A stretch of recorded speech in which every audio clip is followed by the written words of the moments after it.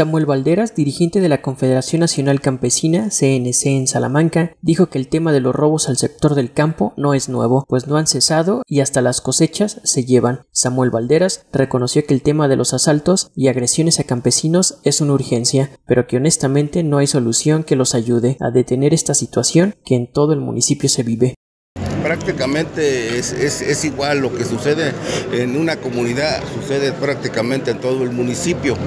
Es algo que no se puede parar tan fácilmente pues por las tácticas o por lo que sea que no se han este, modificado y, hay una situación complicada y difícil pues para toda la zona rural, incluso bueno pues aquí mismo en la ciudad hay asaltos, robos, este, a tienditas, a y todo eso.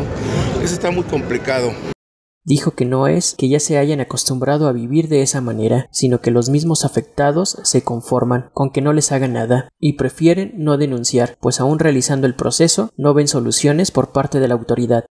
No es que ya nos hayamos acostumbrado, simplemente que pues ya pasan, este, ya no se denuncia, la mayoría ya no se denuncia. La gente se conforma con que no lo golpeen o con que no le pase algo grave en lo físico, pero sí, eso está a la orden del día. ¿Qué medidas han tomado los propios comunitarios al verse vulnerados? Pues fíjate que eh, medidas extraordinarias o especiales ninguna, simplemente las vemos pasar.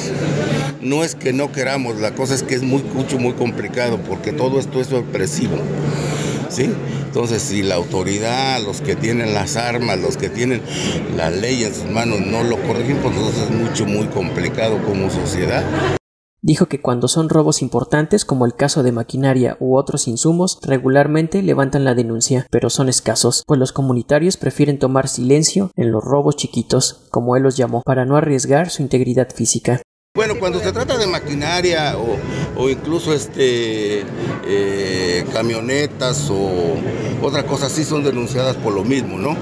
Pero los robos, los demás, los que eh, asaltan y que les quitan que 50, eh, 100 pesos en algunos casos, pues estos ni siquiera se pasan, se pasan su coraje, su susto, porque de alguna manera son encañonados. La integridad de las personas. Sí. ¿Perdón? El riesgo. incluso, el riesgo de la integridad de las personas. Sí, sí, así es. Incluso, bueno, es muy, es muy difícil y por eso la gente ha optado por, por no denunciar prácticamente. El, el robo chiquito, por ejemplo. Dijo incluso que hasta han sufrido el robo de sus cosechas y que es un problema más común de lo que parece, pero que eso tampoco se denuncia y el que te roben, por ejemplo, los jitomates, las cebollas, todo lo que se siembra, el maíz de comer, este, el mismo maíz sorgo, eso ya no se denuncia.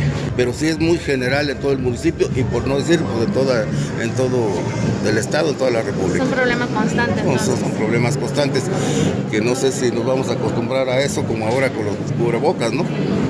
Con información e imágenes de Noraima Castillo del Salmantino, informó para TV Libertad Antonio Barajas.